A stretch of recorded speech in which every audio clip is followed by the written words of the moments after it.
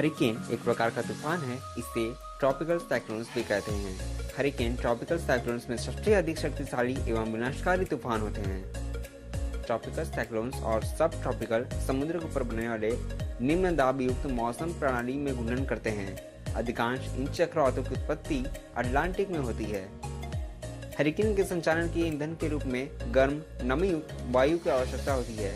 कभी कभी ये तट से टकराते हैं। जब हरिकेन ज़मीन पहुँचते हैं तब ये समुद्र पानी को तट की ओर ढकेलते हैं। ये तूफ़ान आगे बड़ी बड़ी लहरों का रूप धारण कर लेता है, जो काफ़ी हद तक विनाशकारी होता है।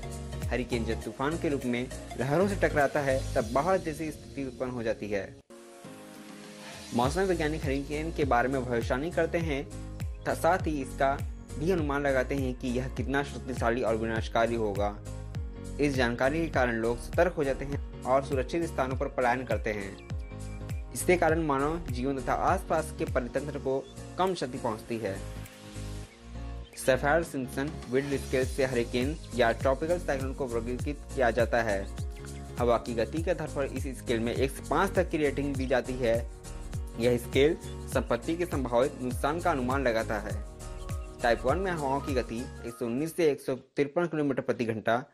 टाइप टू में हवाओं की गति एक सौ चौवन से एक सौ सतहत्तर किलोमीटर प्रति घंटा। टाइप थ्री में हवाओं की गति 178 से 208 किलोमीटर प्रति घंटा। टाइप फोर में हवाओं की गति 209 से दो किलोमीटर प्रति घंटा और टाइप फाइव में हवाओं की गति दो किलोमीटर प्रति घंटा से अधिक होता है। हरिकेन एक या एक से ज़्यादा बार आ सकते हैं, इसलिए इनका नाम रखा जाता है। इन नामों की मदद से हरिकेन को ट्रैक किया जा सकता है और इसके बारे में जानकारी प्राप्त की जा सकती है। एक तूफ़ान को तब नाम दिया जाता है जब वह एक उष्ण कटिबंधी तूफ़ान के रूप में बन जाता है और यही नाम से वह हरिकेन पहचाना जाता है। हर साल ट्रॉपिकल स्टॉम्स को वर्णमाला के क्रम के आधार पर नाम दिया जाता है। नामों की छह सूची होती है। हर छह साल में सूची का पुनः उपयोग किया जाता है। यदि कोई तूफ़ान बहुत नुकसान करता है तो उसका नाम कभी कभी सूची से निकाल दिया जाता है। फिर इसे एक नए नाम में बदल दिया जाता है। जो उसी अक्षर से शुरू होता है।